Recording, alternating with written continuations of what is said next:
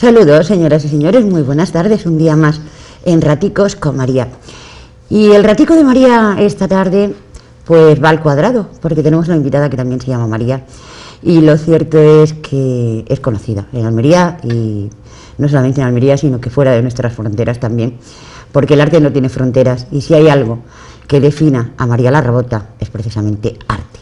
María, buenas tardes. Buenas tardes, guapa. De verdad que es un placer tenerte aquí, entre otras cuestiones porque tú sabes que a mí me importa muchísimo la gente y la cultura y, y todo lo que se relacione con el mundo de Almería, con los almerienses, más que con Almería, que tal, con, con los almerienses, con la gente de nuestra tierra. Y a mí siempre me ha llamado la atención que una mujer como tú se haya abierto paso de la manera que lo ha hecho en el mundo del flamenco, en el mundo del baile y en el mundo del arte porque el nombre de María de la Rabota es un referente, no solamente en Almería, que evidentemente lo es, sino fuera también. ¿A qué edad empezaste a bailar, María? Pues yo a bailar, empecé a bailar con 14 años. Yo de siempre he bailado desde pequeña, pero profesionalmente con 14 años me fui a un tablao flamenco, Agua Dulce, que me llevó mi padre, porque yo quería que me llevara, casi casi lo obligaba a que me llevara. Y pedí trabajo, me dieron, me hicieron una prueba, me llevé mi vestido, me hicieron una prueba y cuando me vieron bailar, verdaderamente casi casi lo engañaba a los promotores que había allí en el tablao que porque, que contrataban, porque casi toda la gente que traían era gente de Sevilla. Había Cristóbal, era un representante artístico y era dueño de un tablao flamenco del tablao Rocieros 2 y entonces traía los artistas de Sevilla, lo cual que bailaba allí la madre de Farruquito, la Farruca. la Farruca. Pues 14 años, pero el arte tuyo ya lo traes de la cuna, además viene de una familia con, con arte, con talento y con tronío. ¿Para tener arte hay que ser gitano, María? Pues no, yo sí, yo soy una bailadora paya, pero sí que es verdad que he nacido en un barrio gitano, en Pescadería La Chanca, calle Anzuelo número 16. ¡Ole! Vale, y a mucha honra. Que es verdad que allí en nuestro barrio hay un duende, porque han salido grandísimos artistas como ¿Y los que van a salir? el Niño José L, eh, el Negrillo, Rocío Segura, muchos artistas, vamos. Eh, y allí es que se respira un aire, en cada esquina la gente canta, baila y toca la guitarra. María, yo tengo que, confesarte una cosa, que siendo de Almería de toda la vida y siendo una enamorada además de Almería, yo he descubierto Pescadería Las Chancas hace muy poquitos años, muy poquitos años. Porque sí, todo el mundo sabe dónde está Pescadería, todo el mundo conoce Pescadería, pero nadie vive Pescadería de cerca. Y cuando yo he empezado a respirar ese duende que tú dices, de pescadería Las Chancas, porque para mí no hay diferencia entre la chanca y pescadería, para mí es, es la misma cosa. Ese duende, ese arte, ese talento, ese rasgueo y esa voz en la calle, a mí me enamora, ¿qué quieres que te diga? Yo pasear por vuestras calles, por las calles de Pescadería Las Chancas, y impregnarme de, ese moreno del cante y, del talento almeriense, a mí me, pone las pilas. 14 años, señoras y señores, 14 años empieza a bailar y a partir de ahí a luchar, no solamente a trabajar, a luchar, porque además de bailar hacían más cosas, ¿no? Hacías de todo daba clases, luego también estaba en la escuela, estaba en el colegio y yo organizaba todo lo que se hacía en la escuela de teatro.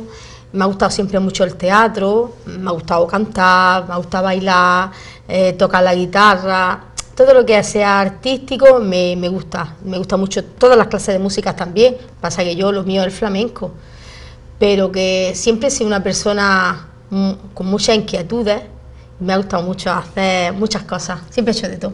Yo cuando... No se me oscurece, Ana María. Claro que no, como tiene que ser, porque además tú eres la demostración viva de que las mujeres si quieren pueden. Porque además cuando María empezaba a hacerse un nombre en el mundo del baile, fue madre, se casó, en fin, mm, la, la lucha de la vida, no solamente de María, sino la de cualquier mujer, llevar la casa para adelante, criar hijos, cuidar padres, eh, cuidar que no falte un plato de comida cada día en la mesa, porque además eh, en Almería, como en todas partes. Eh, se ha notado muchísimo esa falta de trabajo, pero no ahora, estos últimos años. En Almería falta el trabajo siempre y la necesidad ha sido siempre mucha. Y en el barrio donde María ha crecido y ha vivido aún más. Y María, María, pues ha sido una luchadora nata. Ella dice que no se le oscurece nada, pero es que es verdad. Yo cuando te he visto bailar, María, siempre he dicho que tu baile es del alma, que sale de las tripas, que tú además yo creo que no ensayas, o sea que es lo que, lo que en ese momento no solamente es el movimiento, sino lo que te está mandando el alma. Eso sí que es verdad. Yo sé la bailadora, eh, Racia, sí que es verdad que hoy en día tienes que estar a punto en todo, que no es lo mismo que antes, que llegaba y pegaba. Antes no se ensayaba, María. Ahora se ensaya se hacen, yo sí que es verdad que llevo, tengo mis cosas ensayadas, pero realmente cuando me subo en el escenario, mis artistas ya saben que yo no voy a hacer lo que he ensayado. Ensayo porque tengo que estar en forma física. Claro. Pero no es porque cuando yo me pongo a bailar y yo ya estoy a gusto, yo ya me explayo y lo que venga ha venido y cuando termine ya terminaré y ellos ya saben que me tienen que seguir. María tiene una forma de hacer los movimientos, porque además lo que ella ha dicho es verdad, ensaya, ensaya y además mucho porque además tiene una escuela de baile de la que vamos a hablar ahora. Y en esa escuela de baile evidentemente ella, ella ensaya, no solamente con sus alumnas, sino ella. Pero a mí me llama muchísimo la atención cuando tú sales al escenario, te presentas y empiezas con ese movimiento ondulante que envuelves a todo el mundo que te está mirando. Y ya dejamos de mirar, ya empezamos a sentir. Ya empezamos a sentir. Yo he tenido espectáculos en el Teatro Apolo donde la gente se ha levantado y ha llorado, ¿eh? Yo también he llorado. Yo también. Yo te garantizo que también. Yo he llorado y la gente ha llorado también de verme. Bueno, es que es una cosa, tampoco todos los días lloras no, cuando baila. Tampoco todo el mundo tiene los mismos días todos los días. Efectivamente. Pero... sí que es verdad que, que, que, toda la gente me lo dice, que yo es que más, más que creatividad lo que tengo es es un arte, un sentimiento, y cuando arte, baila. Sentimiento y mm. arte. A mí no se me olvidará jamás aquel día de la Virgen del Carmen, cuando bailaste a la Virgen. Ah, para mí aquello fue espectacular. La pena y la lástima es no haber tenido una cámara que recogiera aquel momento como, como se merecía. Aquello fue espectacular, porque fue algo improvisado, aunque es verdad que ya, ya había dicho que iba a salir a bailar y tal, pero no había dicho lo que iba a bailar, ni ella supongo tampoco que sabía ni, ni siquiera lo que, iba, lo que iba a bailar. Y aquello mm. fue, fue un espectáculo, yo puedo dar fe de que la gente que estábamos allí terminamos todo el mundo con, con la lágrima en los ojos. Eso es. Yo cuando terminé, cuando terminé, miré a la Virgen, me metí dentro de la academia, uff, ya me pegué ahí una panzada a llorar con mucho sentimiento porque fue una cosa que, me salió de, que me salió del alma. Vamos a hablar de esa academia de baile, que a mí me gusta más escuela de baile que, academia, ahora mm. le da a todo el mundo por poner palabras rimbombantes, pero en definitiva de lo que se trata es de transmitir. ¿Tú crees que el arte se enseña o se transmite? Vamos a ver. Sí que es verdad que las alumnas, que son tus alumnas de verdad, que tú las tienes desde que son pequeñas, llevan tu sello. Porque yo cuando veo niñas bailar que no son mi alumna, yo sé esas alumnas de quién son. Y mi alumna, las que son mi alumnas de verdad, que son niñas que, me que están en la escuela con su, su tiempo y su año, si es verdad que las niñas llevan mi sello. Luego, hay niñas que tienen un arte que ese arte suyo. Yo no le puedo dar a nadie mi arte. Yo puedo enseñar lo que yo sé, mis conocimientos. Pero el, arte y el duende de cada niña, eso porque su madre la ha parido así, igual que mi madre me ha parido a mí. Hay cosas que ni se estudian, ni se aprenden, ni se, ni se compran, ni Yo las enseño, llevan mi sello, llevan mis cosas, pero tampoco quiero que lleven mis cosas, porque yo cuando enseño un paso, yo quiero que ellas lo hagan suyo, no el mío. Que me copien, no, que lo hagan bien, sí, pero que ellas lo hagan suyo y lo hacen. ¿Cuándo, ¿cuándo decides abrir la academia, María? Pues yo desde cuando desde que empecé a bailar con unos 16 años, mi padre tenía un piso eh, en la calle Madre María Micaela, era un piso de planta baja y era un piso que tenía en la parte de dentro como un sótano de piedra. Mi padre me lo arregló y me hizo lo que era como como un tabla flamenco, con su escenario, sí, sí, con sus Qué faroles, bonito, qué bonito. con su con su reja muy o sea, que tu padre ya sabía que tú Sí, ibas partista. Sí, no, es que mi padre, yo siempre, como él, yo desde pequeña, yo, yo tenía muy claro lo que a mí me gustaba, lo que yo siempre hacía. Mis amigas se iban a la discoteca y yo me tenían que llevar a ver flamenco y a ver mis cosas, que era lo que me gustaba. Yo no me veía, yo, yo de pequeña no he, no he frecuentado mucho las discotecas, vamos a ver que sí he ido, pero que no ha sido una cosa de frecuentar, me gustaba más ir a los tablaos, cuando se hacían los concursos de sevillana, que se hacían muchísimo aquí en Almería, que es otra cosa que también se podía organizar. Pues vamos a organizar muchas cosas También. nosotros, con María La Rabota y con Livio, que Livio es el presidente de la canastera y tiene mucho que ver con María. Ahora ella ya nos contará o no, ¿eh? depende. Bueno, María, hable, abres esa academia en la calle María Lo que te Micaela. estoy contando, María, allí en la calle Madre María Micaela, entonces empecé a dar mis clases de sevillana, mis clasecitas de tango, poquito, mis clasecitas de bulería, poquito a poco, y la gente poco a poco, poco a poco se iba informando de Ella que está bailando, ¿la viendo ustedes? Así, con su meneo. la gente se iba informando de que yo me llamaba María del Mar Hernández, que es como me llamo, pero claro, la gente decía, ay, la hija del rabote. Claro. La hija La del Rabota. rabote, entonces ya es que ya yo me ponía en los carteles y la gente me decía la hija del rabote, entonces yo le tuve que pedir a mi padre permiso, digo, mira, mira papá lo que pasa, que, que es que la gente me dice la hija del rabote, ¿tú quieres que me ponga María la rabota? Yo lo que tú quieras, hija mía, y yo con muchísimo orgullo, que para mí eso es un orgullo, me puse María la rabota y ya, soy María la rabota ya hasta que me muera, y yo creo que cuando Después me muera... también, claro que sí, porque tu arte va a permanecer. Porque mira, yo en verdad que muchas veces la gente dice, yo quiero que me quemen. Yo no quiero que me quemen, María. No quieres, ¿verdad que no? No, ¿sabes por qué? Porque yo quiero cuando me muera Que tu hijo- tenga una lápida bien hermosa en el cementerio donde ponga María la Rabota. Ole. No, sí, ¿es señor. verdad? Sí, señor. Y cuando la gente vaya allí, que vayan a ver, ver a María la Rabota. y que me vean allí, un buen nicho ahí. Pues yo también estoy de acuerdo contigo. Con pero una buena no lápida de mármol ahí con el busto de María la por eso, sino porque de alguna manera el hecho de tener allí ese cuadradito parece que, que- que te hace pensar que tienes a alguien allí, mm, que, que alguien que está allí. Mm, Que yo es respeto, yo respeto Yo también, cada... pero que es cierto. Tengo yo- un gran amigo que ha sido muy amigo mío, mm, como si fuera más que persona de mi familia, un gran guitarrista de aquí almeriense, que era mi guitarrista oficial en Negrillo de Almería. Negrillo. Me he criado con él y cuando se murió le han puesto su lápida tan bonita y cuando voy al cementerio siempre me paso por ahí a verlo y A me da verlo, mucha alegría. exacto. Y yo digo, cuando yo me muera, yo quiero también estar aquí como es. Bueno, pues además de eso perdurará tu arte, María, porque es verdad que, repito, el nombre de María la Rabota es un nombre importante, ¿eh? son palabras mayores cuando se habla de arte, pero sobre todo de flamenco. Ella ha dicho que en esa academia enseña, además de flamenco, pues más cosas, pero a ella hay que verla encima de un tablao bailando flamenco. Y sin ponerle ningún adjetivo, ni bulerías, ni tangos, ni... No, porque ella sabe, y sabe mejor que nadie, y hay que verlo, porque el flamenco, María, hay que sentirlo, y para sentirlo hay que verlo en vivo y en directo. Claro, por supuesto. Porque no es lo mismo oírte taconear en una grabación que verte taconear no encima de un escenario. Yo misma, yo me veo y no es lo mismo. Es lo mismo, hay que respirarlo. O sea, esas noches que vosotros tenéis en la canastera son noches inolvidables. Que además, esas noches de la canastera, María no está previsto que, que baile y mucho menos, siempre termina bailando. Hay bueno, porque me invitan en el fin de fiesta y ya me veo con la con la esta de que tengo que salir. Pero porque además lo llevas en la sangre, si es que además lo sí, disfrutas. Sí, es verdad, sí que es Si verdad. que además lo disfrutas. bueno, María, y que tú no sabes las noches, por ejemplo, que hay noches con un duende allí en la canastera, que terminan las actuaciones y que nos quedamos allí un rato con un ambiente, que el uno coge el cajón, el otro la guitarra y ya no hay escenario.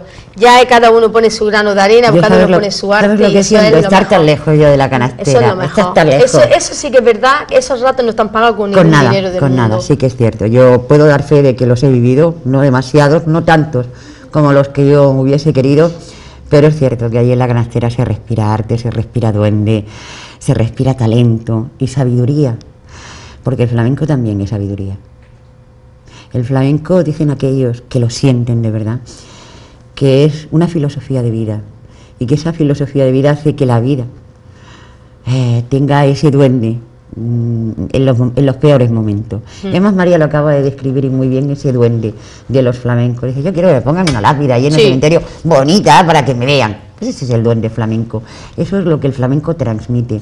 Vida después de la vida. Sí, Esa academia que abres tú en María Micaela, ¿cuándo se va a pescadería? Pues se va para abajo, bueno, yo tendré allí en la, en la calle Cordonero, la tengo ahora en la calle Cordonero número 6, lo cual es que tengo la academia en Cordonero 6 y justamente la canastera está enfrente, Enfrente. Cordonero 5, Ujú.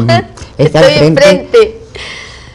Eh, pues hará unos, por lo menos, no lo pensaba, pero por lo menos 22 años, por lo menos 22, 24 años Bueno, ya. va- vamos estamos- a dejar los años, Sí. vamos a dejar los años. Sí. Eh, María, una persona torpe, torpe como yo, ¿no? Que se le, se le cruzan las piernas a la hora de bailar, que no tiene arte, ni sal, ni, ni, ni azúcar para mover ni siquiera las manos, puede aprender a bailar. Sí. ¿eh? Sí, yo como profesora me considero, para enseñar a la gente que nunca ha bailado, me considero una buena profesora. Sí, porque eso es muy em- eso es muy difícil. ¿Qué es lo más importante en una bailadora? ¿Las piernas o los, bra- o los brazos? Todo, todo.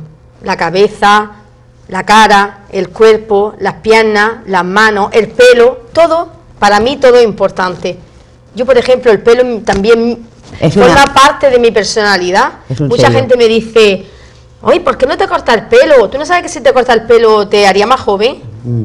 pero es que no sé, yo creo que yo sin el pelo, yo veo a una mujer rubia, mi hija, por ejemplo, lleva el pelo rubio, lo veo y me encanta, pero yo no me vería a María la Rabota con, con el pelo corto, rubio, con las mechas, como que no sería yo. No serías tú. Yo, No yo sería tampoco yo. te veo. Yo, tengo tengo mi que personalidad. que no te veo. Yo tengo mi personalidad, mi forma de vestir. A mí la moda no me importa, ni me interesa. Ni Me siquiera a la hora de ponerte un que vestido de a- flamenca. Me, pongo lo que me gusta y lo que yo creo que me sienta bien. La moda es una cosa que no me importa. Me he visto ¿Hay como moda- a mí me gusta. ¿Hay moda en el flamenco, María? No, en moda, en el flamenco y en la vida personal. En el flamenco también hay moda, María. ¿También? Sí, sí, sí, sí. sí. También, Claro. porque, hombre, es verdad que por mucha moda que haya, Sí, sí, sí, o sea, sí, sí. está claro que a, no a todo el mundo le queda bien un vestido de volante, ni No. sabe lucirlo, porque es posible que le quede bien el vestido de volante, pero el vestido de volante hay que saber moverlo y hay que saber lucirlo. Claro, claro, como una bata de cola, tienes que saber moverla. Si no sabes moverla, si hay mucha gente que la mueve, se cree que puede engañar a la gente, pero no, la mueve, le pegan la vuelta, se dan la vuelta. Una cola nunca se puede dar la vuelta cuando baila. Mm, tiene que arrastrar y moverse y además con Cuando la se vuelve ya está con mal la colocada. elegancia del capote. Pues claro. ¿Es así o no? Pues claro, porque para bailar con la bata mal baila, pues mejor no se baila ya. Pues está. mejor no se baila. Eh, María, ¿tú crees que los almerienses valoramos el arte y el talento que hay en Almería? Pues María, habrá gente que lo valora y otra gente no lo valora. Yo qué te voy a decir, hija mía, si tú sabes lo mismo que yo. Eh, Si alguien te quiere ayudar, te echa un cable y si no te quiere ayudar, pues no te echa ninguno. Y si te puede echar tierra, te la echa encima. Bueno, pero son los menos. Yo creo que son los menos. Yo creo que hay más gente buena, ¿a que sí? ¿A que A mí, sí? yo por supuesto, yo no tengo. Te estoy hablando de un En decir. general. Yo, yo me llevo bien con todo el mundo. No solamente se lleva bien con todo el mundo, sino que a María además me cuando... siento muy querida. Yo, yo soy una persona que me siento, me siento bastante Es querida verdad, por la es gente. verdad, es Sí que es verdad.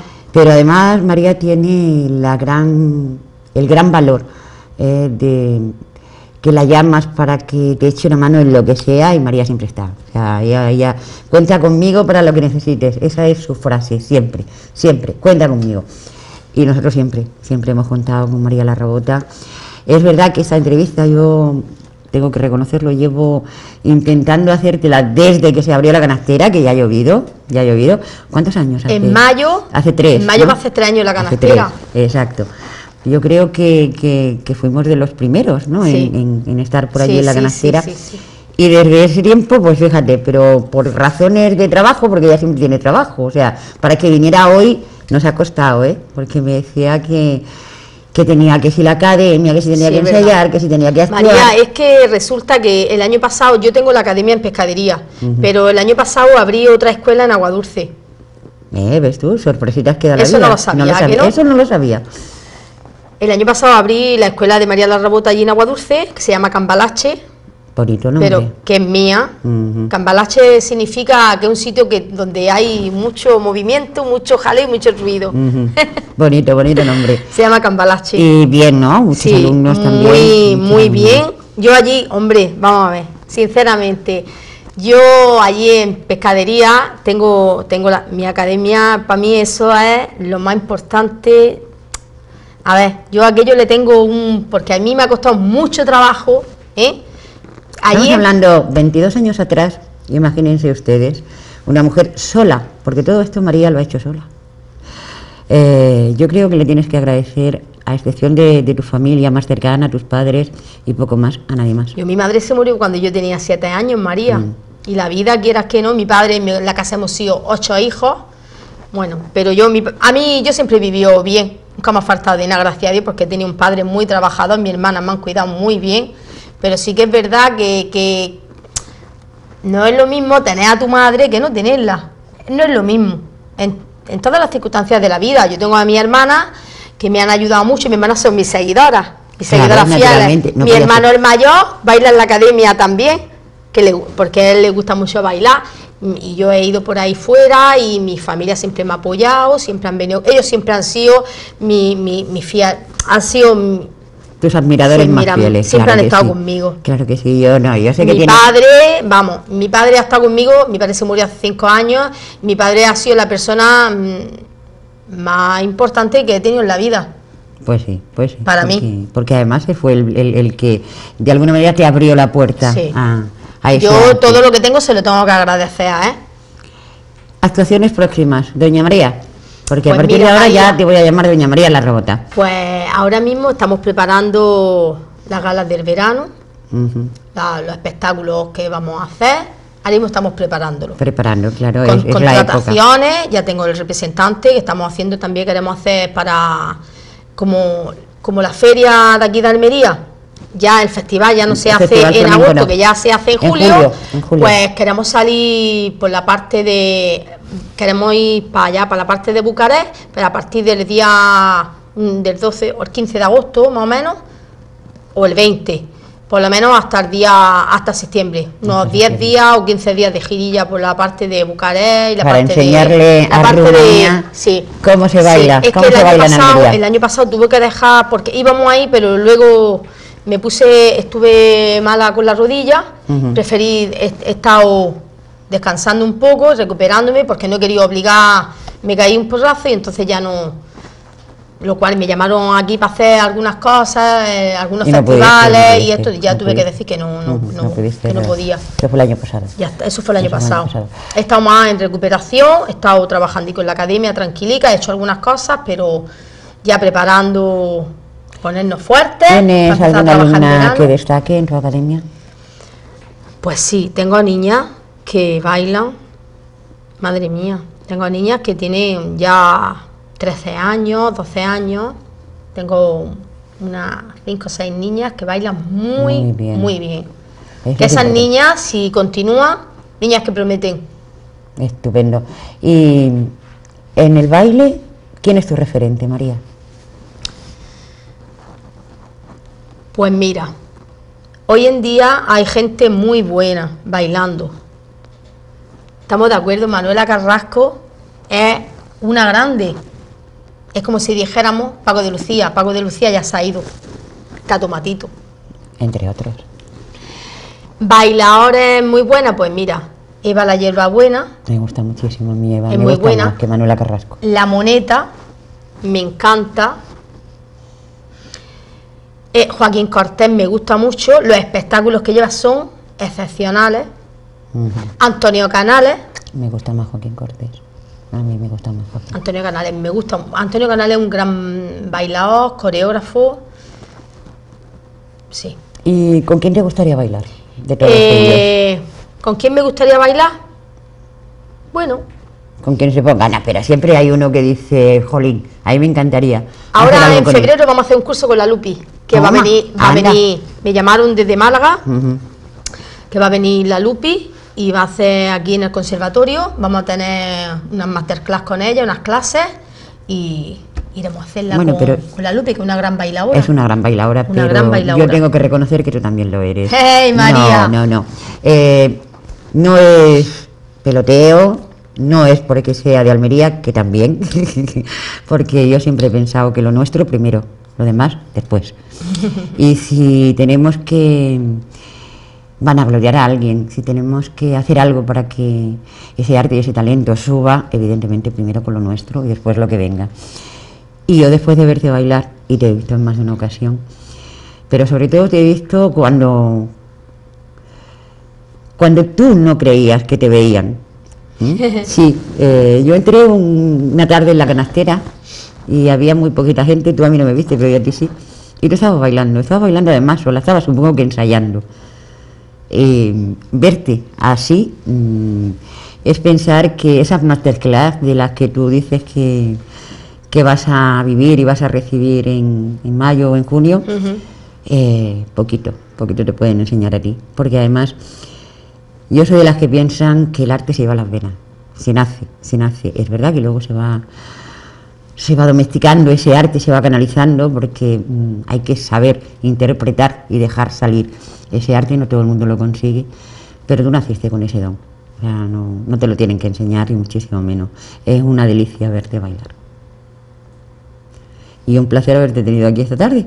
El placer es mío, María, por haberme invitado. ¿Nos queda algo por comentar?